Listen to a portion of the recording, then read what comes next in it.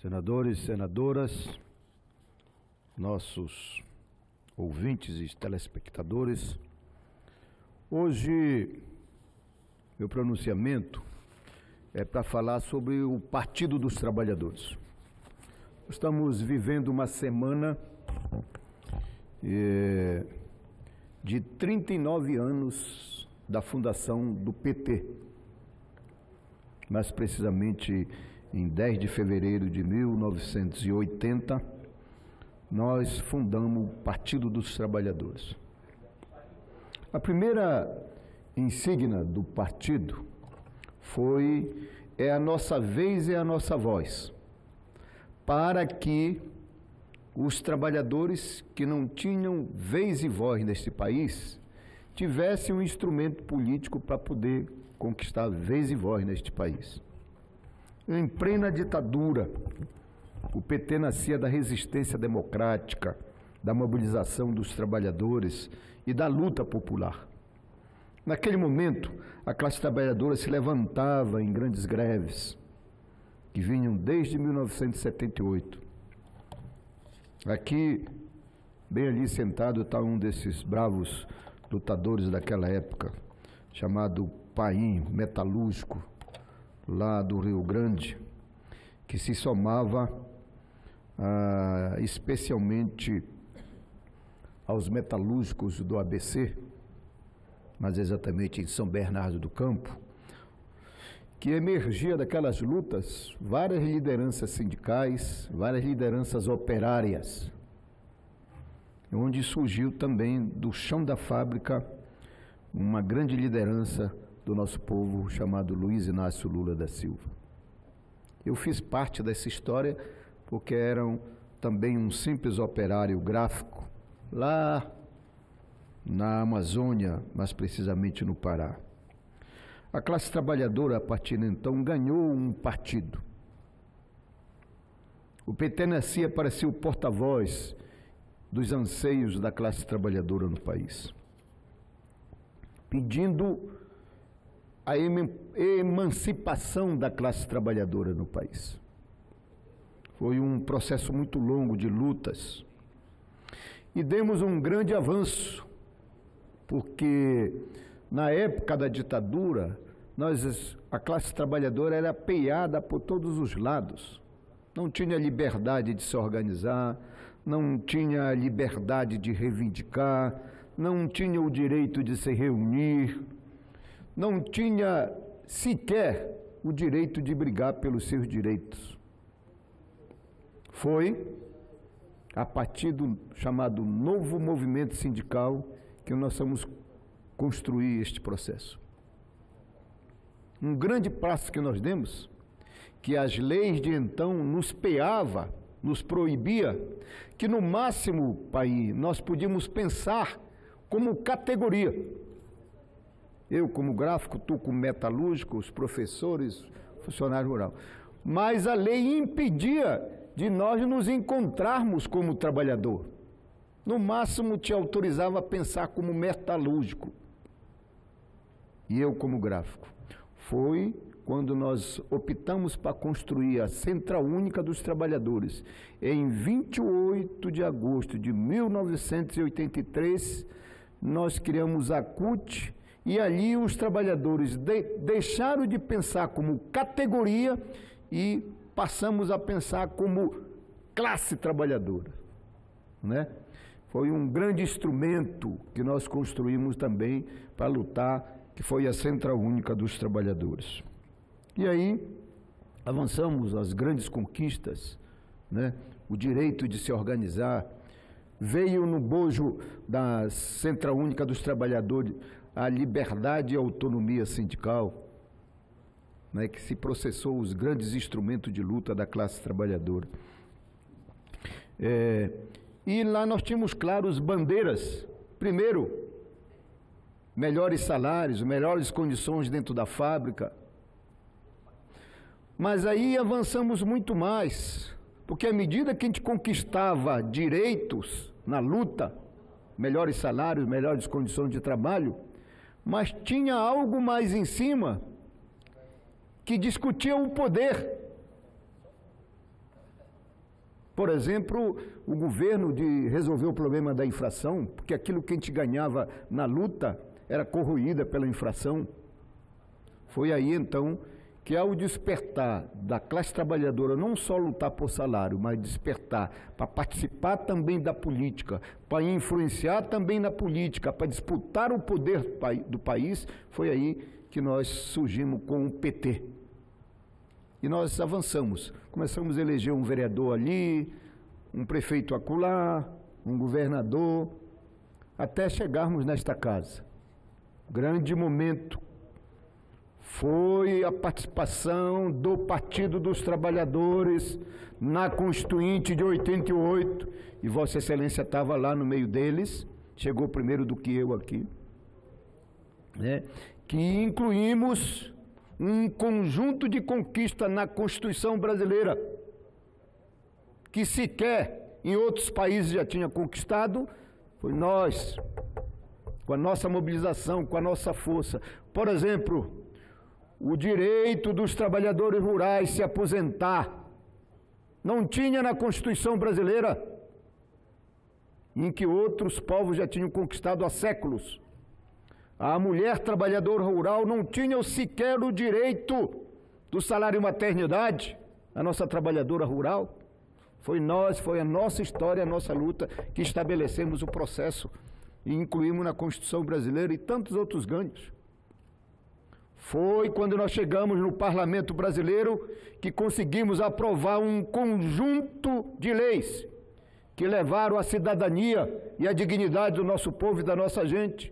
Foi lá, Paim, na comissão do trabalho, que tu era presidente e eu era vice, que iniciamos um processo de discutir e que a sociedade brasileira não acreditava que ainda existia trabalho escravo no nosso país.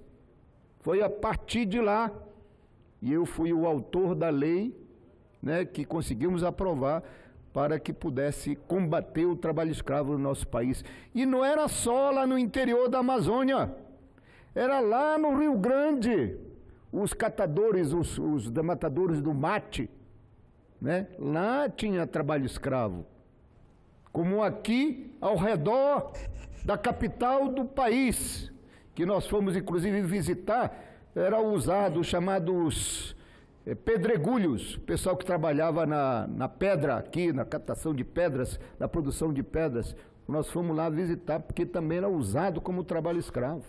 Foi essa lei aí que nós conseguimos criar condições para o Estado brasileiro, através do Ministério do Trabalho, criar aquelas comissões de fiscalização para poder emancipar desse trabalho degradante e escravo que existia no nosso país. Vou lhe dar uma parte. Mas antes, é, concluir aqui essa primeira parte dizendo o seguinte: foi quando a representação da classe trabalhadora chegou no parlamento brasileiro que nós conseguimos conquistar leis importantes para trazer dignidade e cidadania para o nosso povo, para a nossa gente. Agora, mais recente, através de outra trabalhadora, ah, em pleno 1900, aliás, em pleno mil, 2016, 15, que a companheira negra favelada que virou que virou graças ao PT deputada, governadora do seu estado e agora é deputada de novo, a companheira, companheira Benedita da Silva, que conseguiu aprovar as chamadas leis das domésticas, que era outro setor da classe trabalhadora que não tinha sequer direitos. Foi através desta lei de uma companheira do Partido dos Trabalhadores que conseguimos aprovar. Foi através da presença de Vossa Excelência que conseguimos aprovar um conjunto de estatutos. Estatuto racial, da questão do combate à discriminação do, do negro, dos idosos. E ajudamos a construir outros estatutos, como do deficiente, do consumidor, etc, etc, etc. Trazendo os portanto, para o arcabouço jurídico do país e para fazer com que o Estado brasileiro trouxesse dignidade para o nosso povo e para a nossa gente. Depois de 500 anos de dominação, onde uma visão que se apoderava do poder do Estado para fazer desse Estado um Estado tão, um país tão rico, mas é que poucos tinham benefício. Uma visão de governar o nosso país de uma visão elitista que colocava o país, as suas leis, o seu desenvolvimento, enfim, só para a mão de poucos. O resultado disso é que ainda temos este país assim, que seis famílias detêm 50% da riqueza desse nosso país. São apenas seis famílias. Isso é resultado de uma desigualdade que é, é a existência do nosso país. Desigualdades regionais, desigualdade entre o rico e o pobre, injustiças. Por isso, eu queria é, ao fazer esse debate aqui, provocar esse debate nos 39 anos do PT, que podem falar mal do PT, podem acusar o PT e as suas principais lideranças, mas ninguém pode esconder que foi a partir da presença do Partido dos Trabalhadores no Brasil que nós começamos a mudar a muita coisa neste país. E foi a presença do primeiro operário a governar o país, chamado Lula, que em oito anos nós colocamos esse país a serviço de um processo que seja um país para todos e não para apenas uma elite, como foi sempre nesses 500 anos. Por isso, eu queria fazer esta intervenção aqui, registrando que depois de tanto massacre contra os trabalhadores, depois de tanto agressividade contra o PT, inclusive resultado disso, tem um companheiro que se tornou o maior presidente da República desse país, né? Está preso, produto dessa capacidade de luta e de pensar um Brasil para todos. Por isso, Chico, Rodrigues, desculpa, mas eu queria lhe dar a parte eu ouvia atentamente o pronunciamento de Vossa Excelência, deputado Paulo Rocha, brilhante deputado, eh, senador do Estado do Pará, nós que eh, na década passada estávamos, estávamos juntos eh, na Câmara dos Deputados e ali assisti e acompanhei essa sua grande luta e também, por que não dizer, do seu partido, Todos os partidos, obviamente, têm as suas histórias, mas é, há um simbolismo importante em relação é, às conquistas os avanços é, no nosso país. E você foi protagonista, Vossa Excelência foi protagonista, e aqui nós temos outro protagonista dessa história do seu partido, o Partido dos Trabalhadores, é, o nobre senador Paulo Paim, também, à época, companheiro na Câmara dos Deputados, e que é um ícone na defesa é, desses avanços sociais. Portanto, quero parabenizar pelo aniversário do 39 anos do país, do partido do qual Vossa Excelência faz parte, o Partido dos Trabalhadores, e dizer que, obviamente, Existem encontros e desencontros entre hum, todos os partidos. Claro que nós e, também. E claro você... que também nós erramos em muitas Exatamente, coisas. claro. Mas é, eu diria que os ganhos aos olhos da sociedade e o reconhecimento em grandes avanços, eles estão registrados e cravados nos livros da história. Então, parabéns pelo seu pronunciamento. Obrigado, senador. É, agregarei aqui ao, ao meu, para ficar registrado nos anais da casa, isso é importante a parte. E continuando, quero dizer o seguinte, que foi... Senador Paulo Rocha, só dizer que eu estou na fila, no momento mais adequado eu Darei peço a no momento exato. É... Queria deixar registrado aqui neste pronunciamento que, inclusive para a grande imprensa e para todos aqueles que desceram, foi depois do governo Lula, depois do PT no governo, que políticas públicas que há 500 anos o povo não tinha acesso foi a partir do nosso governo. Dou um exemplo para a nossa Amazônia. Na época do Fernando Henrique Cardoso, tinha uma chamada Luz do Campo. E Aqueles que tinham dinheiro tinham que comprar o poste, o fio e o transformador para poder chegar a energia lá. Adivinha para quem chegava a energia? Só para quem, quem tinha dinheiro. Os grandes fazendeiros no interior. Foi a partir do governo Lula que se criou Luz para Todos. Onde o governo chega na porta lá e diz: estou batendo aqui, olha, uma política pública de energia para colocar na sua casa. Isso é de uma conquista, esse exemplo, para o interior da Amazônia. Aquele cidadão que viveu há séculos na lamparina, isso é chegar à dignidade na porta da sua casa e listar as políticas. Luz para todos, Bolsa Família, Minha Casa Minha Vida, Mais Médicos, para nossa Amazônia, mais universidades. Lá no meu Pará, há um século só tinha uma universidade chamada UFPA. Hoje tem mais quatro.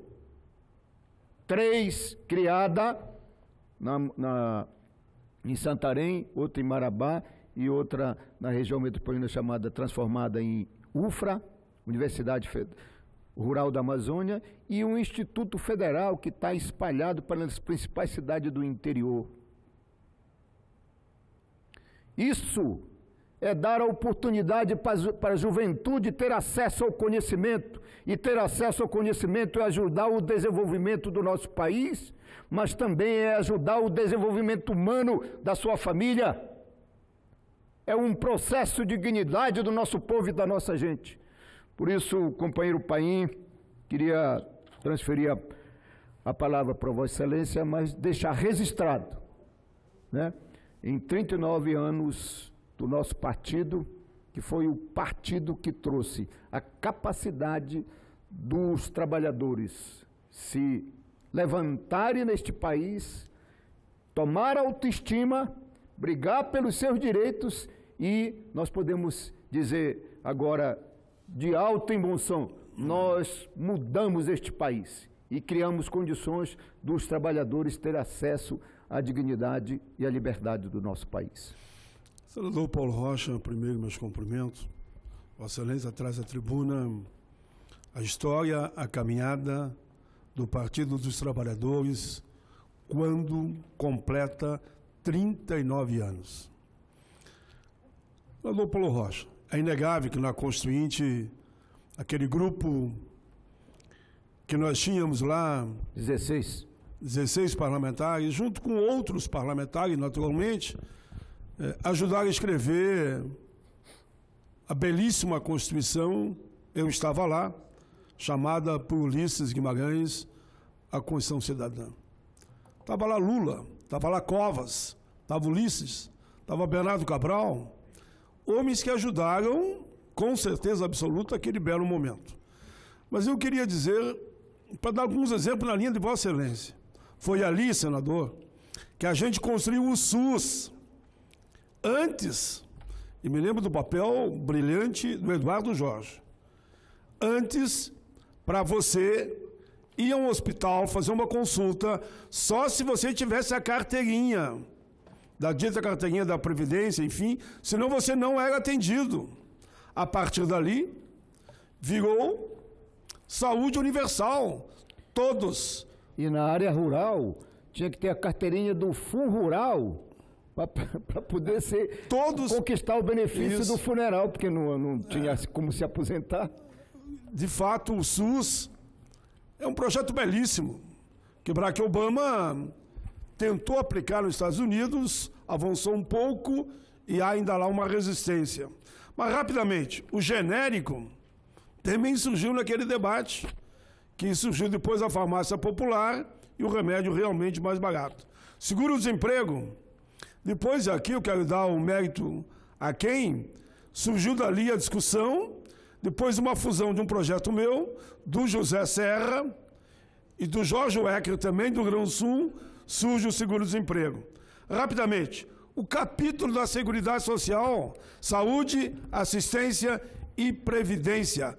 O tripé para permitir que as pessoas possam viver, envelhecer com dignidade. Paim, vou concluir, vou Paim, concluir esse pedacinho. Paim, e na esteira do seguro-desemprego, nós incluímos, foi a bancada do PT depois na regulamentação que incluímos o seguro-defeso. Seguro-defesa.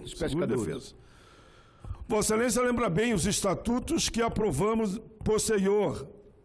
Inclusive, eu fui signatário de três deles e o da juventude, que também aprovamos, foi sancionado. Fui relator do idoso, igualdade racial, pessoa com deficiência e da juventude. Lá, sequência, claro, uma obra de todo o parlamento e não só de um partido. Construímos também, antes desses, o Estatuto da Criança e Adolescente. Lembramos aqui, rapidamente, Bolsa Família, 40, 14 milhões de pessoas que passavam fome tiveram benefício para combater a fome. Termino dizendo só, o ProUni. ProUni, para mim, um projeto é, belíssimo. Quantos e quantos, porque eu passei em todos os estados, discuti os 27 estados por duas vezes, fui no seu, com certeza, discutindo previdência, democracia e reforma trabalhista. Me lembro que lá os, o, muitos diziam para mim, pai, te lembra que tu é o homem dos 100 dólares? Nós tiramos de 100 dólares para mais de 300 dólares o salário mínimo naquele período e há uma política de salário mínimo até hoje, que eu espero que não mude, que construímos junto, que é a inflação mais o PIB, que com certeza a gente quer que o país volte a crescer, esse aumento real vai acontecer. Termino falando só do ProUni, a última frase, como é bonito a gente chegar no interior, desse país todo e ver, por exemplo, a empregada doméstica dizer: minha filha se formou em medicina, minha filha é médica, minha filha é engenheira, ou meu filho, graças ao ProUni. Por isso, cumprimento Vossa Excelência. E quero cumprimentar Vossa Excelência com a última parte que Vossa Excelência falou. Fizemos muito, mas há muito por fazer. Mas temos também que fazer autocrítica, porque cometemos erros. É inegável. Vossa Excelência também reconheceu e essa autocrítica tem que ser feita. Ninguém é perfeito para que a gente possa avançar cada vez mais no país dos nossos sonhos.